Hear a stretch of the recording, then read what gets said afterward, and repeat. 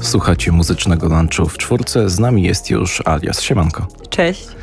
Słuchaj, już prawie tydzień temu wypuściłaś w świat epkę 49 groszy. To było 14 czerwca. Ważna data, myślę, że ważna dla ciebie, ważna epka dla ciebie. Na pewno nie tylko ostatnie miesiące mają wpływ na to, co na tym materiale, co w tym materiale słyszymy. Zgaduję, że minęło przynajmniej kilka lat od momentu, kiedy wylałaś z głowy pierwszy wers, kiedy zaczęłaś nawijać pod rytmiczne bity. Tak, no ze trzy lata chyba, trzy i pół może. A ja zawsze się śmieję, że ja zaczęłam rapować, bo nie umiem śpiewać. A chciałabym, a chciałam zawsze coś robić z muzyką. Ważne, że umiesz rapować, nie? To no to też, to też zajęło trochę, żeby umieć rapować. E, ale e, tak, no do tej epki prowadziło tak 3,5 roku e, takiego po prostu doskonalenia się i myślę, że ono nadal trwa. Mhm, ale to bardzo ważne, że jest ten y, ciągły rozwój. Też mam wrażenie, że ta twoja muzyka ciągle y, dojrzewa też y, tekstowo, bo chyba 49 groszy jest inne niż poprzedni materiał. Stawiasz pewnie, nie, nie stawiasz granicy, ale zaznaczasz, że to nowy etap. Tak, zaznaczam. Ja myślę, że przy każdym materiale staram się tak robić, żeby było widać progres przede wszystkim e, i żeby był on coraz bardziej spójny i po prostu dzięki temu coraz bardziej czytelny, myślę, dla słuchacza. E, że coraz bardziej ten jakiś e, sens, który ja chcę przebić albo e, jakąś myśl, mm, no muszę coraz bardziej pracować właśnie nad tym, żeby te teksty, flow i wszystko było takie spójne. Mhm, to też wiele razy podkreślasz, jak y, ta muzyka jest też formą pomocy innym. Y, na pewno też to tobie pomaga. Y, czy ja nigdy nie byłem na scenie? No dobra, może byłem, ale nie po to, żeby zaraz porwać ludzi, żeby pokazywać im ten swój świat, swoją wizję, swoje spojrzenie na muzykę, na rap. To musi być bardzo oczyszczające.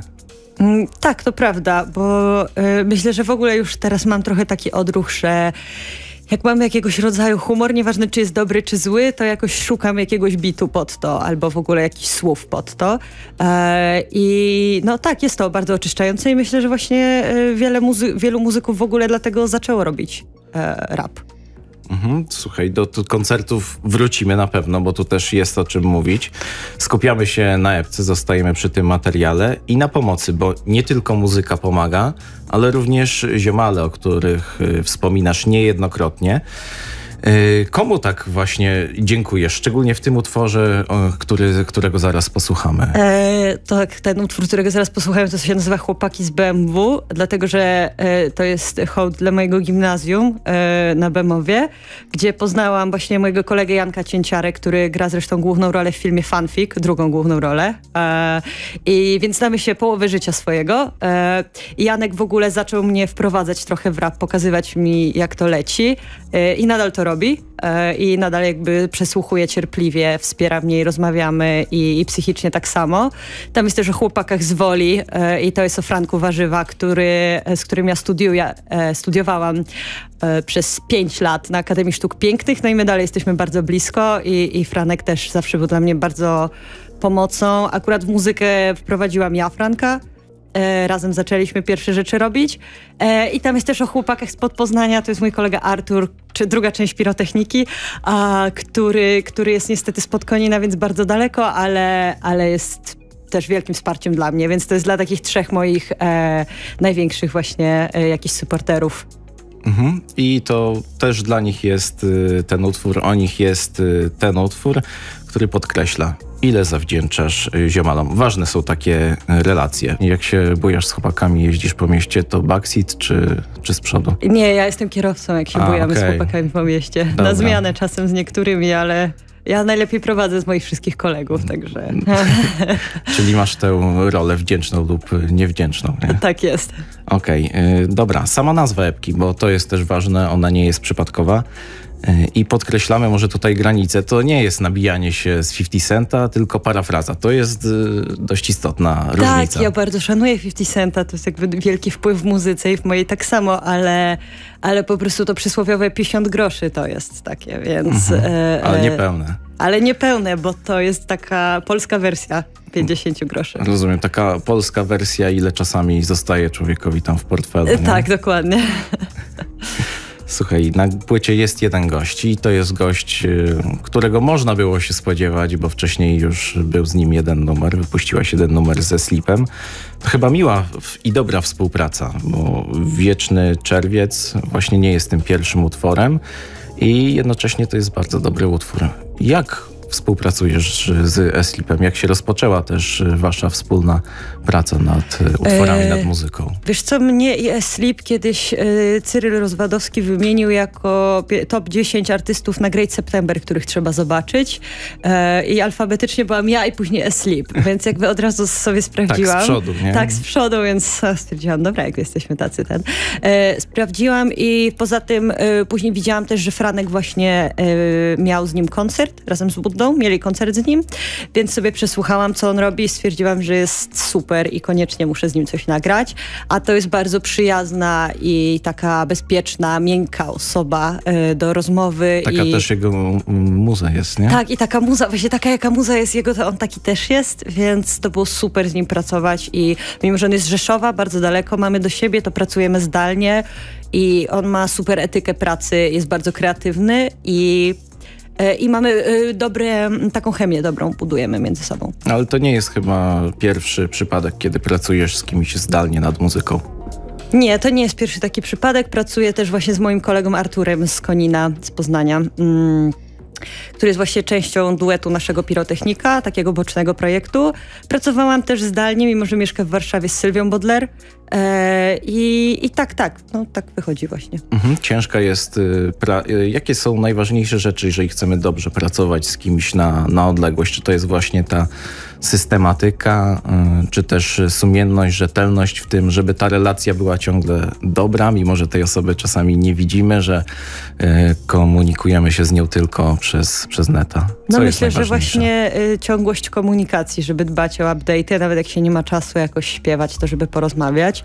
No i w ogóle dobrze jest y, jakoś wspólne tematy mieć, poza tym, że tylko muzę się robi. Bo my sobie z Sleep i jego nieoficjalną Menago y, mamy jakby czat oddzielny, na którym codziennie coś piszemy, więc to jest y, dobra re relacja i zajaranie jakąś zajawką i po prostu to leci. No tak, pewnie czasami po prostu już wiecie, co można zrobić i o czym numer, zanim, zanim faktycznie jakby wymienicie się tym pomysłem. Tak, nie? tak. Alias jest Sleep, czarny płyn, a jeszcze w tle słyszymy ostatnie dźwięki świętej Betsy, utworu z twojej epki 49 groszy.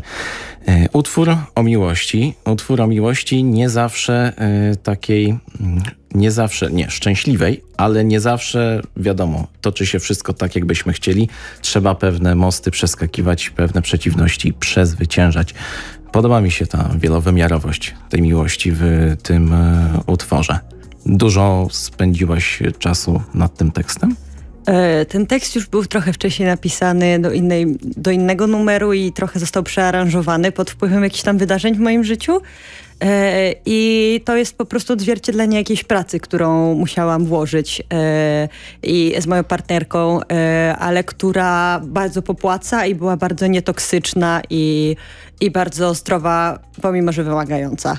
Mhm. I też e, fajny jest design tego wszystkiego, co się dzieje wokół łebki. No grało się w GTA, co? E, tak, no GTA to jest e, nostalgia wielka moja z dzieciństwa i myślę wielu osób. Ja spędziłam bardzo dużo czasu nad tym designem, bo wszystko robiłam w 3D. Jest świetnie odwzorowane, naprawdę. Widać, że spędziłaś nad tym dużo czasu, ale też myślę, że warto było, bo nawet jak zerkniemy sobie w płytę, tak? W, fizyka. Z, z mhm. fizyka, nie? To też mamy jak main menu E, tak, main utwory. menu z GTA jest odtworzone w fizyku epki, tak, dokładnie. Mm, czyli mm, taki był zamysł, żeby podkreślić to, że jesteś po prostu uliczniakiem, tak? E, tak, tak, e, myślę, że tak. To i że najbardziej e, te nuty, wszystkie te bity e, pasują mi do takiego klimatu właśnie.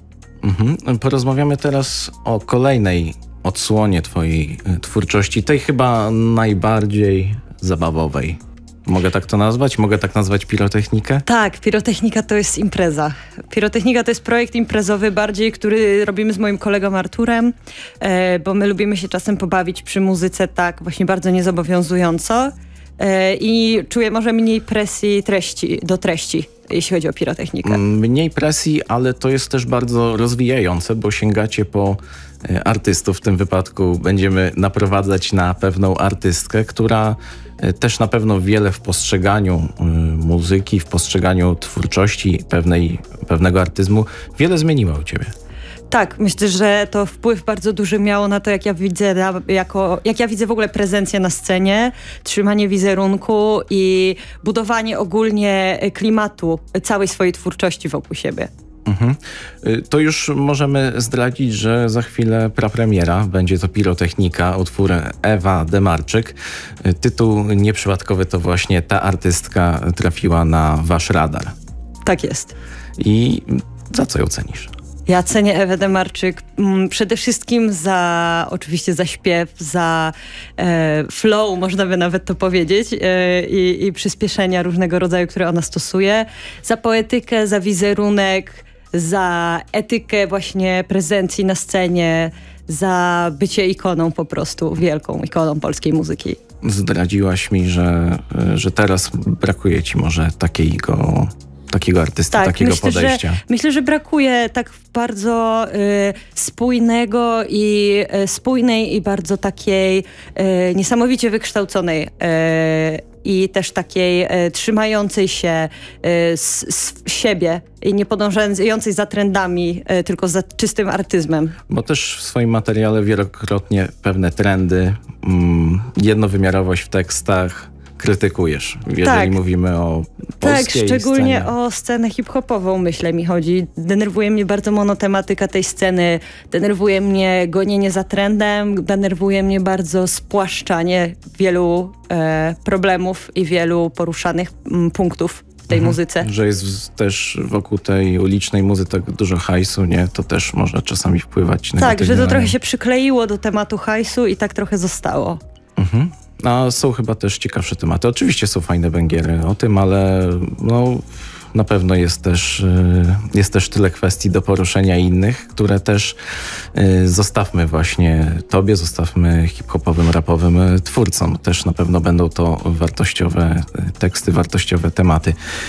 Słuchaj, jeszcze ostatnia sprawa, koncerty, bo ty na koncertach tak mm, widziałem cię w chmurach na tej małej scenie, mhm. no jednak tam dużo kroków zrobiłaś na tej scenie. Jak będzie na OFie, no w festiwalu ta większa scena, myślisz, że kondycyjnie dasz radę tak no, też będę skakać? Musiała, będę musiała poćwiczyć. E, dam radę, dam radę. E, już miałam trochę większe sceny, może nie tak wielkie jak na OFie, ale e, ja jak śpiewam i daję show, to po prostu trochę nie zwracam uwagi na to, czy jestem zmęczona, czy nie, bo najważniejsze jest to, że przyszła jakaś ilość osób, żeby mnie posłuchać, więc muszę im zagrać jak najlepszy materiał, jaki tylko mogę. Mhm. To też y, odbierasz to jako dużą szansę y, pokazaniu, y, żeby się pokazać takiej publice, która słucha, nie?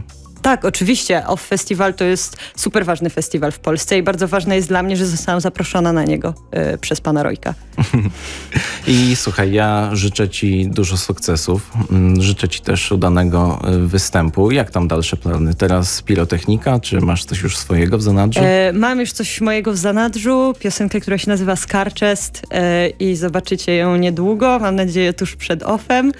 E, I tak, i na pewno Ewa Demarczyk z pirotechniki. Mhm, którą już zaraz y, usłyszymy. Będzie to, przypominam, prapremiera, utwór, pirote utwór pirotechniki Ewa Demarczyk. Ja dziękuję, wielkie dzięki dziękuję. za rozmowę. To była przyjemność, ze mną była Alias. Wzajemnie, dziękuję wam.